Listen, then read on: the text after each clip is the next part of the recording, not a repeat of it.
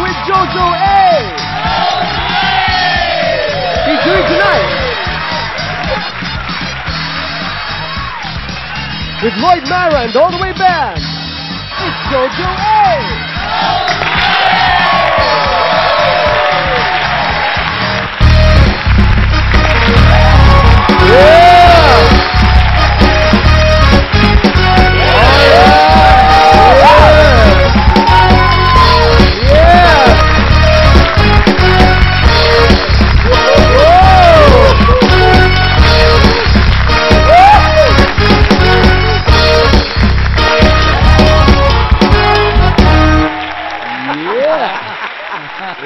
Laid back. Luzon, Visayas, and Mindanao, those watching all over the world. Magandang gabi po sa inyo lahat. Rockman Funk, Yeah. Lloyd Band, All the Way Band, and our beautiful happy people.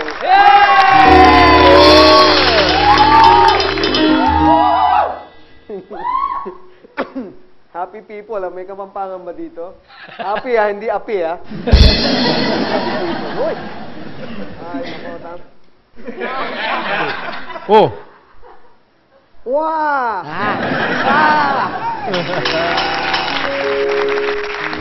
Alam mo, wala ka talaga marinig nga. Oh? Ay, oo nga. Kasi naman yan, mga gago na yan eh.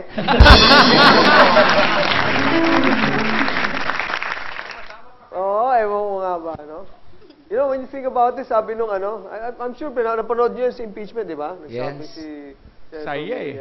Oo, nat- saya eh, di ba? Ngayon lang ako nakakita ng away, natuwan-tuwa ako. di ba? Oh, yan na, yan na, huwag mo ka sa tenga. Iba yung nakawag, gano'n eh. Oo. Ah, na, naawa nga ako si sabi ni Senator Miriam Defensor Santiago. Ah, kumpleto pa eh. Ang sabi ni Senator Miriam Defensor Santiago nga ba, ano? Sabi niya, etong mga, ano na ito, um, prosecution na ito eh. Sinasabi niyo, you're preempting the answer to the court. Nasabi niyo na rin, sinasabi niyo agad na panalo na kayo. Ano ba yung kayong yan, ganyan, kayong panalo na? Oh. Sabi ni Senator, di ba? Woo! Para kay lahat mga sira ang ulo. Kaya nagulat tuloy si ano eh, si Congressman ah, ano, Neil. Sabi niya, oh, buti na lang. Akala ko sabihin, Neil, Congressman Neil Tupac eh.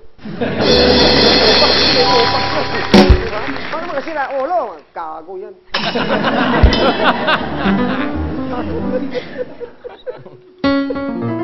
Alam mo, sa sobrang ganda ng impeachment, hindi ko na pinapa, hindi ko na pinapa, ah, tinitignan yung babae sa likod eh. so, sige, Nakalimutan. tinitignan ko na lang kung ano na nangyari. Palakpakan natin Central Miriam Defense. Yeah. Diba? Nagpapaganda ng impeachment. It's colorful, it's uh, substantive, and, and, and best of all, it's procedural. Wait. anyway, it's about Fire Prevention Month. Ngayon eh. Fire Prevention Month. Yeah. Yan. Di ba? Ano yung sabihin ng Fire Prevention Month? Mas marami sunog. Pag Fire Prevention Month, mas marami sunog. Kaya, oh. And alam niyo kung bakit ah, sabi nila eh, yung sunog daw, eh, um, dapat bukod sa sunog, ang iiwasan nyo, eh, mawalan ng trabaho sa Fire Prevention Month. Oy. Because this is the month that you should prevent yourself from getting fired. Pasok. Eh, kung ayaw niyong tawanan, huwag niyong tawanan naman. Kakago ito.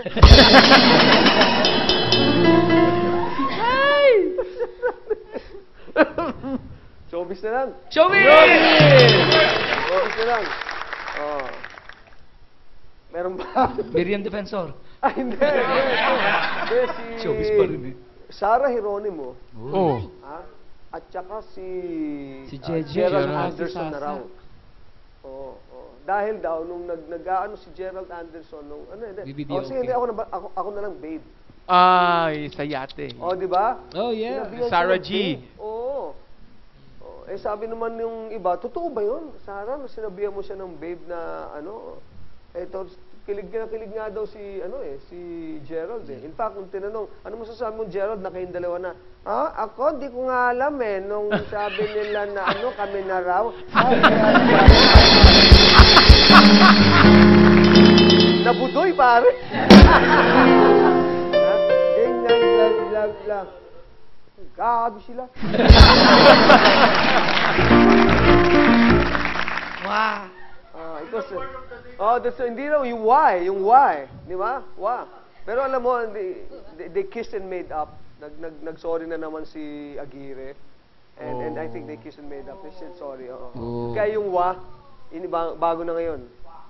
Mwah. Yeah! Ladies and gentlemen, Roy Mara, and all the way down.